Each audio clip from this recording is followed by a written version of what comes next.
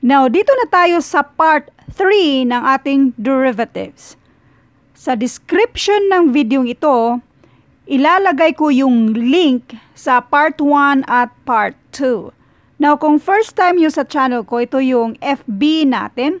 Ito naman yung FB group, Philippine Civil Service Review for All, kung saan pwede kayong mag-post dyan at marami tayong mga FB member na happy sagutan yung mga tanong ninyo. Otherwise, kung nagre-review kayo for civil service exam, for college entrance test, which is tapos na yan, for uh, kung ano pang mga exam yan, for AFSAT, punta kayo sa files ng FB group natin para direkta nyong ma-download yung mga libreng printable na reviewers.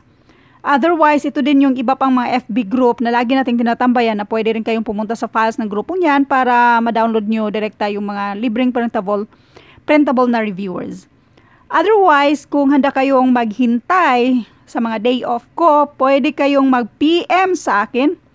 I-PM nyo yung email nyo. Isisend ko sa inyo yung halimbawa, yung pang mga printable na reviewers for civil service exam, yung mga ganyan, sa AFSAT, yung mga ganyan.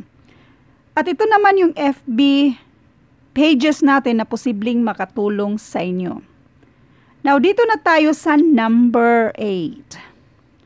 So, function of x is equals to 4 square root of x. So, hanapin natin yung derivative nito.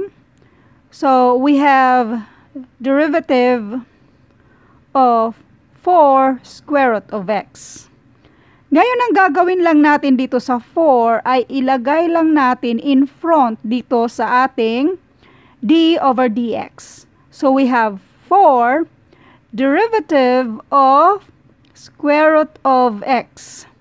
Remember, ang 4 na ganito ay hindi yan siya equal sa ganito na 4. Kasi ito siya ay constant which is equals to 0. Ito naman ay 4 lang talaga yan na i-multiply natin kung ilan yung nasa, nasa gilid niyan. Now, balikan natin itong derivative of square root of x. Itong 4, later na yan siya. Now, si square root of x, para madali nating i-follow yung mga rules-rules sa derivatives, yung square root of x is the same as x na may exponent na 1 half. So, instead na square root, ilagay natin yung exponent niyang 1 half. Now, doon tayo sa power rules. Itong si 1 half, sulat muna natin si 4 dito. 4 multiplied sa derivative of x na may exponent na 1 half. So, itong si 1 half, ilagay mo lang sa front or coefficient ni x. Now, si 1 half, 1 half minus 1 kasi yan yung nasa rules. 1 half minus 1, that is equals to negative 1 half. So, ang exponent dito ay negative 1 half. Now, doon tayo sa 4 times 1 half, that is equals to 2. Ito namang si x na may exponent na 1 half. Ang reciprocal niyan ay 1 over x and 1 half. 1 over x and 1 half ay pariho lang sa square root of x. Now, 2 and itong 1 over square root of x ay pariho lang sa 2 over square root of x. Yan na yung sagot. So, dito sa number 8, ang sagot dito ay 2 over square root of x. Kaya importanteng bago nyo, bago kayo ma-enroll sa calculus, huwag nyo talagang kalimutan yung mga basics sa algebra, yung mga exponent, yung ano pa bang meron dyan, yung mga fractions, yung ganyan. So next dito sa number 9. From, uh, what is this? Function of x is equals to 3x plus square root of 5. So therefore, pag hanapin natin yung derivative nito, that will be derivative of 3x, yung plus sign, derivative of square root of 5.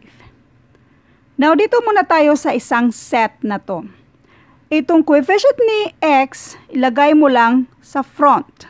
Now, we have 3 derivative of x. Yung plus sign, kopyahin mo yan. Now, itong derivative of square root of 5, remember, number yan siya. Yung square root of 5, baliktarin mo man yan siya, isa lang ang sagot niyan. In other words, that is constant.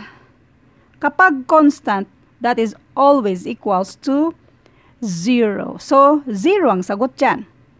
Now, itong derivative of x, single variable. And that is equals to 1. So, therefore, this is 3 times 1. Itong 0, wala na yan siya. So, 3 times 1 is equals to 3. Kaya ang sagot dito sa number 9 ay 3. Next, number 10. Uulitin ko. Pagdating sa calculus, huwag nyo lang kalimutan yung pinaka-basic nito para ang kabisaduhin nyo na lang ay yung mismo mga rulings. Like, katulad nito yung mga basic rules ng derivatives. Function of x is equals to 3x na may, yung x na may exponent na 3 or x cubed plus 11x squared minus 14. So kung hanapan, hanapan natin ng derivative nito, so we have derivative of 3x cubed plus derivative of 11x squared minus itong derivative ni 14. Obviously, 0 na yan siya, wala na tayong minus, so ignore mo na lang yan siya. So, dito tayo sa first, itong coefficient ni x dito, ibahin natin ng kulay para klaro sa inyo. So, itong 3 na coefficient ni x, ilagay mo lang in front dito sa d over dx. So, that is 3. 3, hanapin natin yung derivative ni x cubed plus, itong 11 naman ilagay mo sa front, that will be 11. So, ang hanapin natin ay yung derivative ni x squared. Next, itong unang set, kopyahin si 3. Derivative of x cubed, huwag kalimutan yung power rules. Itong exponent, ilagay mo lang dito as coefficient ni x. Si, si exponent na 3 always, yan na minus 1, nandyan yan sa rule sa derivative. 3 minus 1, that is equals to 2. Tapos dito tayo sa ating operation na plus sign. Si 11, kopyahin ulit natin yan. Derivative of x squared. Always remember na itong exponent na ito ay magiging coefficient ni x. Si 2 ay lagi yang may minus na 1. 2 minus 1, sa exponent ba, lagi tayo mag-minus ng 1. 2 minus 1, that is equals to 1. So, si x, yung exponent niya ay 1 na lang. Therefore, pwede mo namang hindi ilagay yung 1 na yan, pariho lang yan siya. So, kung isa-isahin natin ito, 3 times 3x squared, this is equals to 9x squared.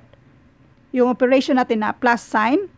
11 plus 2x that is equals to 22x. Kaya ang sagot dito sa number 10, kung hanapin natin yung derivative dito, that is equals to 9x squared plus 22x. Thank you for watching at abangan yung mga future videos natin. Pero before we will end this video, gusto ko lang malaman nyo na alam ko na I can never please everybody. Kaya gusto kong magpasalamat sa mga taong naka-appreciate sa atin. Yung mga mahilig mag iwan ng mga magagandang mensahe, yung mahilig mag-like sa mga videos natin. Sobrang thankful ako sa inyong lahat kasi alam ko hindi po ako perpekto. Kaya sobrang thankful ako sa mga taong naka-appreciate kasi yan yung tinatawag nating naka, nakaka-good vibes ba. So, thank you kay Chester Blake, kay Ma'am Lilian Lafuente. Maganda tong comment niya. Your explanation is so clear, systematic, and precise. Although hindi naman lahat talaga um, masyadong clear yung explanation natin para sa iba. Pero napakaganda ng komento niya. It helped me understand the other the order of operation. So, being a 72-year-old grandma, 72 years old na siya, I was able to teach my great-granddaughter her math subject. Thank you so much and God bless. Uh, shout out kay Christian De La Rosa, kay J. Mart Pendon, kay Will Wilfred Baluyot, kay Venus Miraflor, Glyza Padilyaga, shout out kay Jan uh, VDP.